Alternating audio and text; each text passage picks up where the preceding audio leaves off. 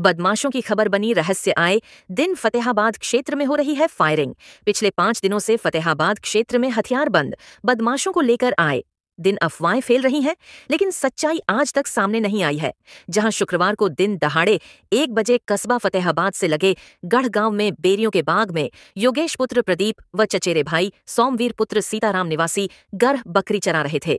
तभी योगेश को कक्षा बनियान पहने एक लोग के द्वारा पकड़ने का प्रयास किया गया। तभी सोमवीर चिल्लाने लगा।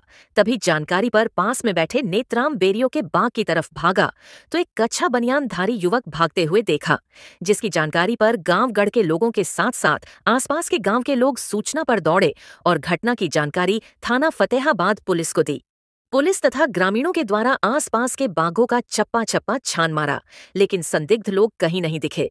जहाँ बीती रात सारंगपुर गढ़ी मोहनलाल सहित आदि गाँव में बदमाशों की आहट की जानकारी पर बड़े पैमाने पर गाँव के लोगों के द्वारा फायरिंग की गई, जहाँ रात भर लोग दहशत में जाग कर पहरा दे रहे हैं। वहीं अफवाहों का बाज़ार गर्म होता जा रहा है, जहाँ आए दिन हथियारबंद बदमाशों के बारे में तरह तरह की अफवाहें सामने आ रही हैं।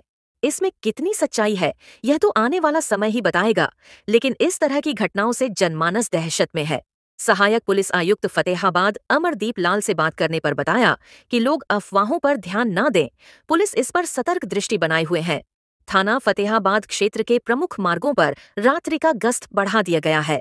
कहीं कोई जानकारी मिलती है तो तुरंत पुलिस को सूचना दे।